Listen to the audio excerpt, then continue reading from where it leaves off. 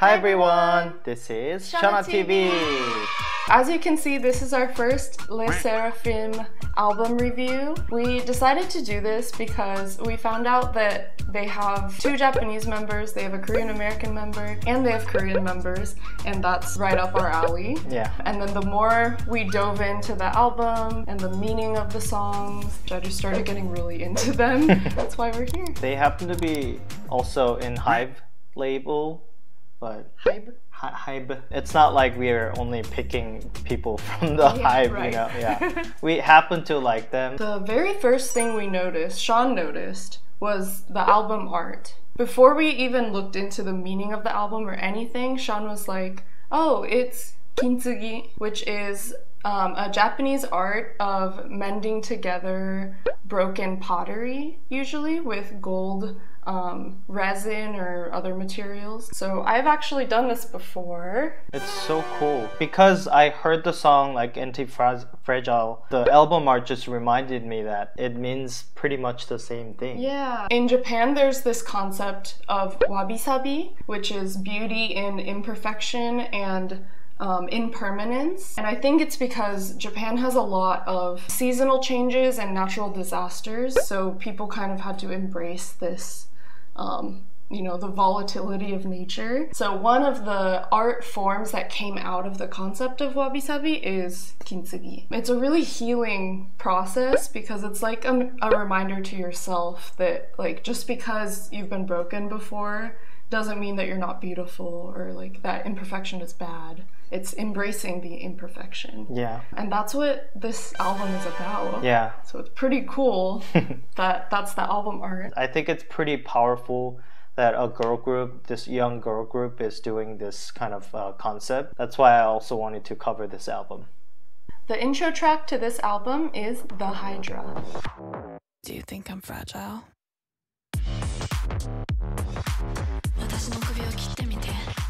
So this track is like an intro to the whole album. It's kind of a representation of what this album is gonna do. And the Hydra is like the mythological beast that show up in Greek uh, mythology. Basically, the Hydras you try to cut their head, and then they have now they now have two head. They So- multiply. yeah, so the more you try to kill it, like it gets stronger and stronger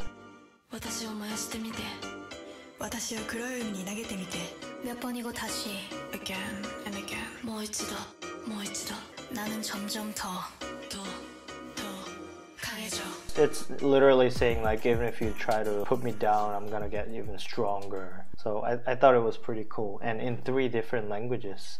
Yeah. It's just really nice that they're highlighting the two Japanese girls' backgrounds. I haven't seen that happen before. Hmm. The group name itself, like it's it's LE SSERAFIM, but it's anagram of I'm fearless. So they struggled so much. Like Anna watched a documentary about Yeah. them and i know how hard it would be in produce show like you have to survive throughout like multiple episodes and you do anything to survive during that show Yeah. and now you are ready and now you're fearless you're not gonna let anyone put you down 추락하며 추는 춤 각사나이. I'm not afraid of storms. For I'm learning how to sail my ship. The next song is the second song and the title song of this album, Anti Fragile. Anti-fragile, fragile, anti-fragile, fragile, anti-fragile. I just really love this song. It's so catchy. The dance is a really cool blend of like strength, like masculine energy and feminine energy. This is like the key move, but then they do like they flip out and then they do like a cat thing. Mm. so I just feel like the the choreography really matches the lyrics and the concept of the song and the album. I googled the word anti-fragile because I didn't think it was a real word because you would think of not fragile as like resilient or strong, but there's actually like a philosopher who wrote a book about anti fragility specifically. It's different from being resilient or strong because that means you just bounce difficulty off of you, but you stay the same. But anti fragility is when something comes to attack you, you get stronger. This is a really interesting concept for a girl group to use as the core of their album because a lot of members of this group the public has watched them struggle for years. Right. And that's a really new marketing tactic. I've been into K pop since second gen, and at that time, it was definitely like, you're not supposed to know how hard these people worked. They're just born talented gods and goddesses, and they just function through the idol world easily. But recently, it's changed so that you see them on the produced shows and you watch them train and go through these struggles and then come back back stronger. I just find it really interesting that that style of marketing has changed a lot. Kazuha-chan has a line specifically that says, that's specifically about her. She left her world of ballet to become a K-pop idol. Right after that, Sakura has... So that's also about this experience that they had coming together. And then in the chorus, they say like, like it's okay if I fall. Mm. It's okay if I fail because I'm anti-fragile. I'm not just strong where I'm not going to fail. It's fine if I do fail. I'm just gonna bounce back. Basically, Anna covered everything I was gonna say. Whoops. yeah, but the lyrics say like.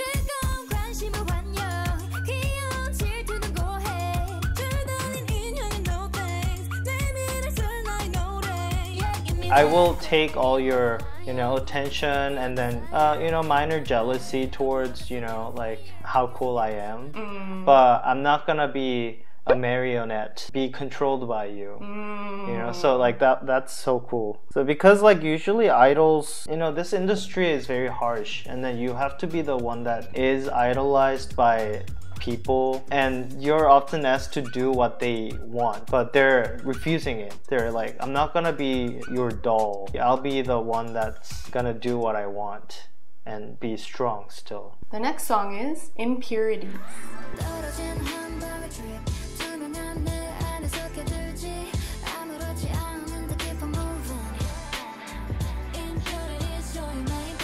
The lyric for this song is really nice. They're talking about how they should be accepted as who they are. And impurity in this case is used as like, I'm not pure, like innocent, but that is good.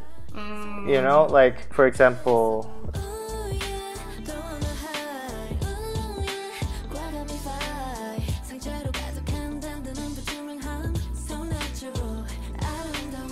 So like even if like I have a lot of uh, injuries and wounds, that means I'm strong and then not as transparent, but that is natural and beautiful.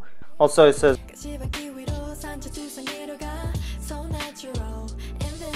so like going through Hashibake like thorny road is considered harsh, you know, like it's not an easy path to go through, but sometimes sometimes you just have to do it you know? It's natural. And then if you go through it successfully you feel stronger mm. the next time. You'll probably do better. That's so the concept of anti-fragile. yeah everything comes together So adding on to what Sean said, this song also reminded me of the kintsugi because it's like I'll show you my impurities. They make me maybe more beautiful. They make me stronger. Hmm. Instead of like hiding that it was broken, highlighting those broken pieces. Yeah. This concept comes from Japan, like accepting imperfection, embracing brokenness, but current Japanese society is very perfectionist. When we were breaking them, they were like, okay, you have to wrap it up correctly and make sure you break it from the correct angle so you get the pretty line. Like, that reminds me of this album too. Like, they're singing about accepting impurities, but there's a very specific way they have to do that. Mm, So it's like inherently inherently contradictory. But this meant a lot to me because as a half Japanese, half white American person, I have a lot of these like broken identity pieces and like they have two Japanese members and a Korean American member who have talked about the struggles they've had like with identity. 내가 이제 한국인인데 미국에 살고 있는 한국인이었잖아요. 그래서 뭔가 정체성에 대한 고민을 되게 많이 했단 말이에요. 나는 누구일까? 나는 뭔가? 어딜 가도 어울리지 않는 뭔가 그런 존재? 그래서 음악이 많이 좋았던 것 같기도 한데 뭔가 음악을 하면서 나를 조금 찾아갈 수 있는 그런 길을 찾기도 했어요. So I, th- I think it's pretty cool that this song highlights those like different parts of them. But at the same time, I do worry a little bit as like an onni for them. They're singing about having impurities and like embracing imperfection. The idol industry is built on the illusion of perfection and purity, especially for girl groups. I don't think they are immune to that. I wish that the industry and the fans and the public could give idols a little more room to actually be human. I hope that they try and bring out whatever they tried. Their tear, tears, sweat, wha- whatever they like had to spend, they bring out as performers. Um, but I hope they also accept the fact that they can't be perfect, you know, and then it should be okay. I just hope we can take baby steps to actually like I could break this to smithereens and still kind of put it together. It wouldn't look the correct way of doing kintsugi, but that's supposed to be the whole philosophy. That's that's more natural. I guess, Exactly. you know? Yeah. yeah. The next song is No Celestial.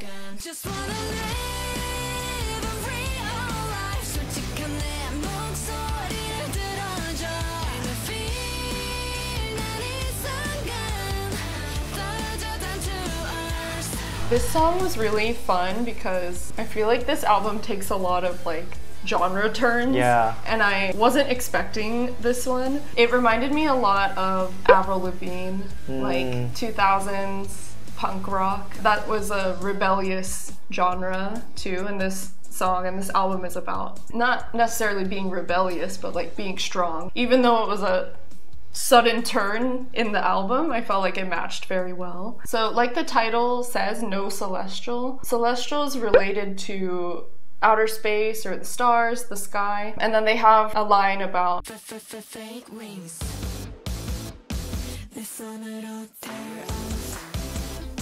And Dorojo down to earth, like I come down to earth.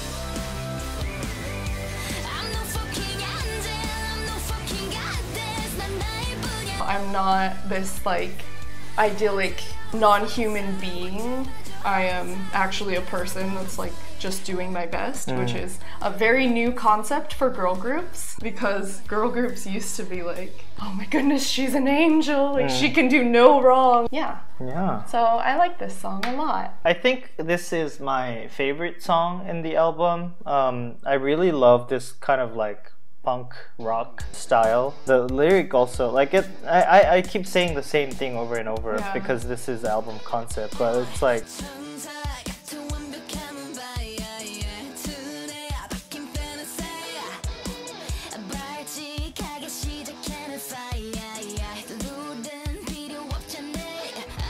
Like, I don't care about what you imagine me about. It's like I am me. Like it's your fantasy. It's pretty cool that they can say this and then the in the song they can actually say like I'm no effing angel, you know, like that's so cool. Also it kind of reminded me hot from um, 17 because the because like they're talking about fake wings like I, this Oh, time Icarus. yeah this time they they take it off and they don't care about the wings but mm. it's also like it doesn't mean like only bad thing if my wings are off because i'm still strong and you know i'm here yeah The last song of the album is Good Parts. When the quality is bad, but I am. I just wanna love myself 난 좋을 때도 나쁠 때도 love my weakness 화려했던 기대와는 달리 왠지 볼품없다 해도 find the good parts the good parts Someone said this title is very Gen Z, which I sure.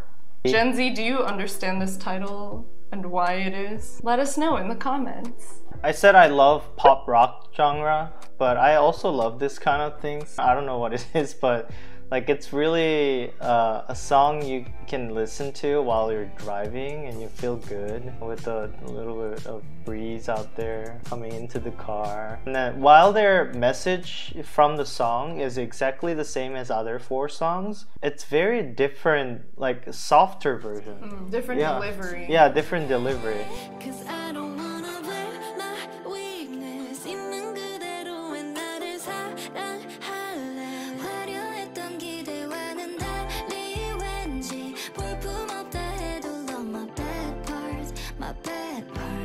It can sound weak, but it's not actually. No matter how strong you deliver it or no matter how like softly you deliver it, the message is the same. I think that's that's important to remember. Mm. There are different forms of strongness. Yeah. When I heard this song, I immediately added it to my It's Gonna Be Okay playlist that I listen to when I'm sad. You would. Yeah, it's just a really sweet song, and I like how honest and like modern it is. They have a lot of lines about like I'm looking at my phone and like feeling more and more down.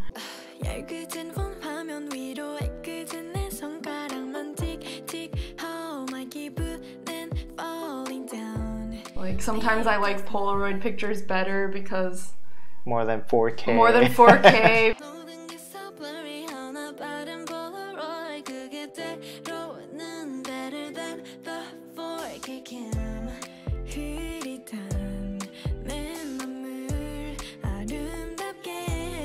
I'm sure all of us have been scrolling on our phone and felt worse and worse, but we still just keep doing it anyway because we don't know what else to do. Those are very relatable lines. So I felt very comforted by that. Yeah, this is definitely my favorite song in the album, and I hope they believe it. I just really, that's what I keep coming back to. Like in the documentary, I keep referencing the documentary, but in the documentary, Sakura-chan talks about how she feels like she has two inner selves complimenting her, like, you're doing really well, like, you can just keep going, and you got this. And the other side is like, why are you still so pujoke? Like, why are you still so lacking? Hmm. Like, you need to do better, get better. Like I identify with that a lot. And also that's the industry she's in mm-hmm. where it's like the carrot and the stick. They'll like compliment them and they'll feel really great about what they're doing and then they'll put them down really hard so they'll work harder. Mm. So yeah, I just want to like keep them safe and like they're putting out this really great message to their listeners and I just hope they're taking care of themselves and they're being taken care of and find the good parts about themselves mm. and each other too. That's very cute. Thanks. 언니로서, 아저씨로서. I just hope not just them, Le Seraphim members, but also producers of Le Seraphim and the company. I hope they remember this message they're trying to put that, put out to all the people. Just be a good reminder to themselves that they're gonna be okay as who they are, and people will love them anyways. Just like this bug. Yeah, I love you. our, Making our footage imperfect, but that's okay. It's so natural, Love the invincible. good parts. But yeah, I, I hope that happens. And then in the future, if they get tired, members get tired and then they want to take a break instead of just saying like I'm fearless, they, they can be fearless while being, you know, tired. So take a good break if they need to. So just just for the future reference, just remember what song you guys all made. Yeah. Our new interest, SSERAFIM, they are on a lot of YouTube shows. Just watch their content, um, leave good comments, enjoy their music. Yeah, You're just making this an advertisement yeah, for them yeah, now. of course. Free advertisement. Cute. We have a couple other album reviews for 17 and IU, so you can check those out as well. Thank you so much for watching. See you next time. Bye. Anti-fragile,